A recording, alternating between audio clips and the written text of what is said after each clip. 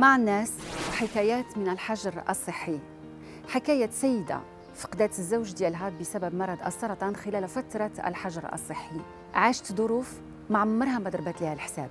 ظروف مادية قاسية البعد عن الأهل حكاية ماشي للفرجة إنما للغد ومع الناس عشنا حكايات.